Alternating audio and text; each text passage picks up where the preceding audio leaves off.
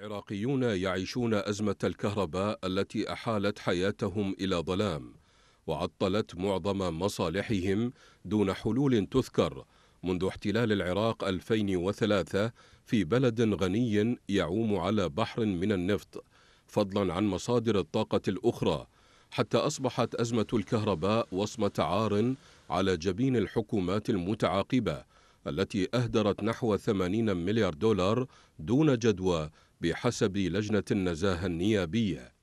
تتنوع صور الفساد الحكومي التي تنهك الميزانية وتثقل كاهل المواطن وتتضح جلية في إبرام العقود والاتفاقيات التي لا طائل من ورائها سوى سرقة المال العام.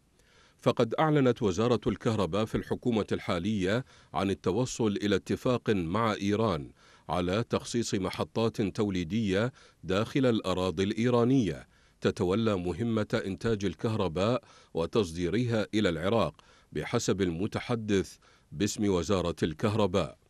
مختصون أكدوا أن الدول التي تلجأ لمثل هذه الحلول تكون عاجزة عن توفير مستلزمات هذا البناء المتصل بضرورات الحياة، فإما أن الحكومات المتعاقبة أوصلت العراق إلى هذا العجز وإما أنها تريد أن تسرق أمواله من خلال هذه المشاريع التي ترسخ الذل والتبعية لإيران وتطلق الرصاصة الأخيرة على البنى التحتية للبلد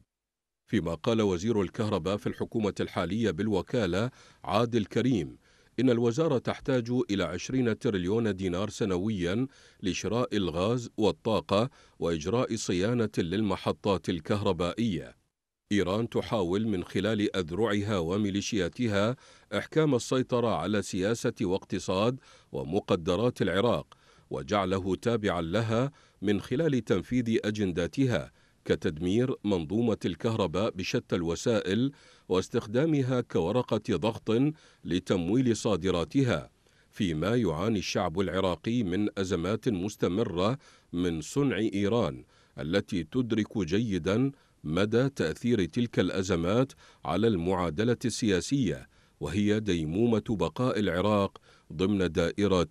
النفوذ الإيراني.